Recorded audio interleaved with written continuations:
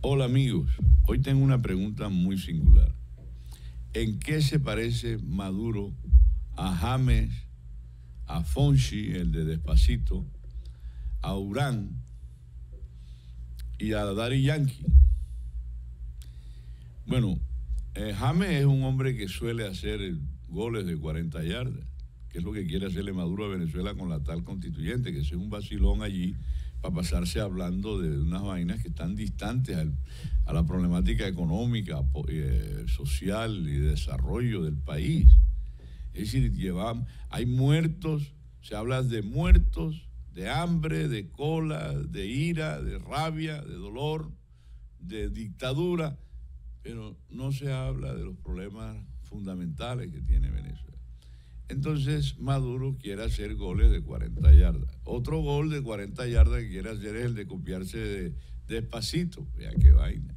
Despacito, que es como él viene fornicándose a la gente en Venezuela y de alguna manera a, gente, a mucha gente del planeta que, que, que ve con desagrado y con, con asco esa actitud de este hombre podrido que tiene Venezuela como presidente.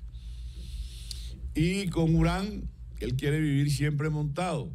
Urán vive montado, porque realmente hay que vivir montado en una bicicleta para poder eh, eh, definirse como un subcampeón de semejante prueba. Entonces vemos eh, a Maduro buscando parecerse o a James, o a Urán, o a Fonsi, o a Daddy Yankee, etcétera, etcétera.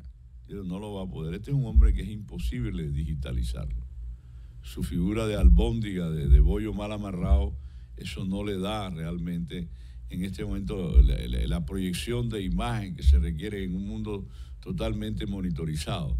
Así es que lo peor que le pudo ocurrir a Venezuela, y espero que este castigo que está pasando el venezolano con semejante animal ahí en esa en una en un puesto tan importante como el empleo número uno de un país.